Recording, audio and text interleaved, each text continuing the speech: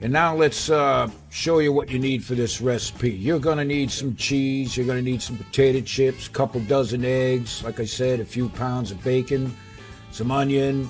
We have some maple syrup. All right, let's put this together. Now, like I said, we pre-cooked the bacon. Not crispy. You want it soft, just like that, and pliable. It's about cooked three quarters of the way through, maybe a little bit more.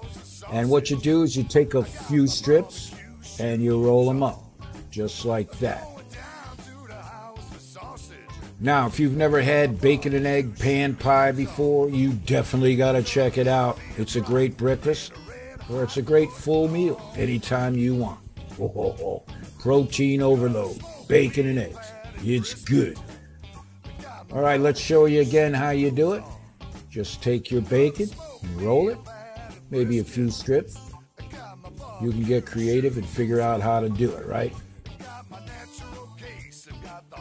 Now, of course, this is pork belly bacon, and uh, you've got to use pork belly bacon. All right? You know about that, right?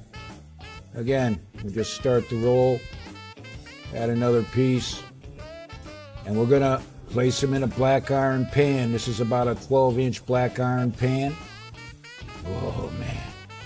Looks like a bed of roses, huh? oh man. Now, we have in here approximately two and a half pounds of bacon, more or less, all right? And this is what it looks like when you get it in the pan. Now here we're adding a little uh, veggie oil for the Vegematics, and this is, uh, we're doing this so the eggs will not stick to this black iron pan. Now, this recipe calls for some onion, like I said, so you can chop it up. Maybe a good sized onion. And now we're going to break the eggs into the pan. You want to go sunny side up, right? And you're going to need a lot of eggs.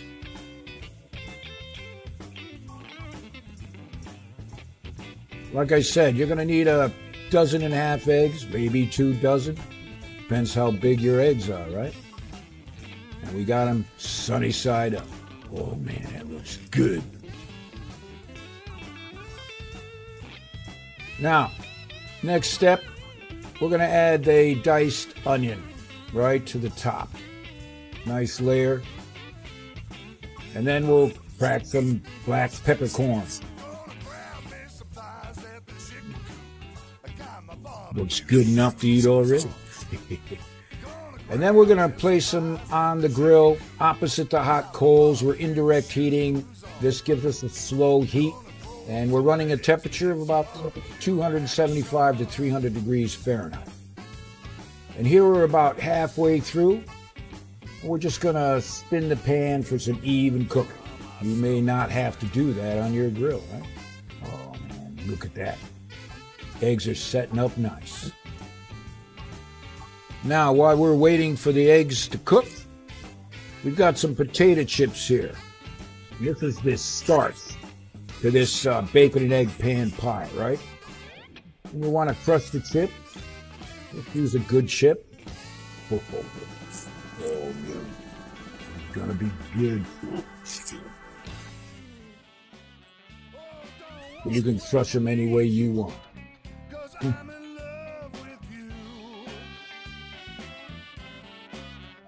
Now here we've got some shredded cheese, and we're going to add it to the chips. And use uh, use your favorite shredded cheese. Give it a good mix.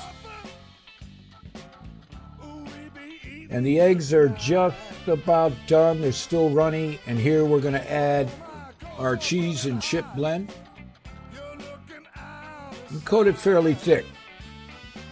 This is going to add a bit of crispiness to this bacon and egg pan pie.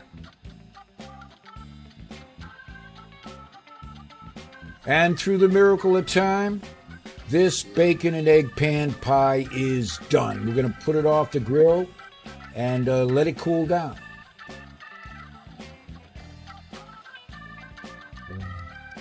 Look at that. I say it's time to eat.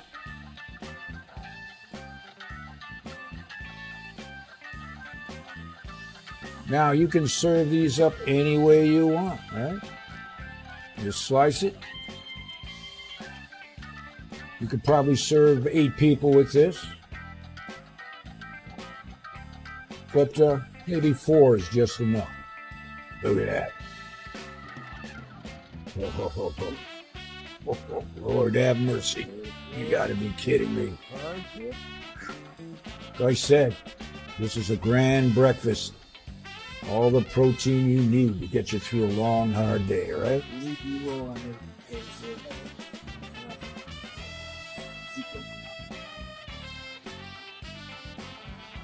Oh man, take a look at that. Nice crisp layer. Bacon is cooked perfect.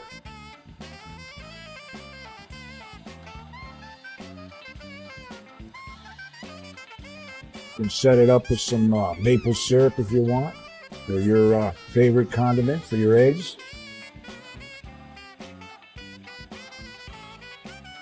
And of course, we do apologize for eating in front of you like this, but uh, we call this Pitmaster privilege.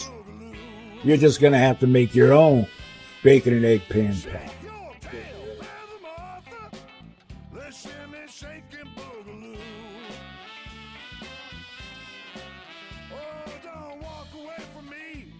So the next time you're looking for a recipe for your pit, check out barbecuepitboys.com.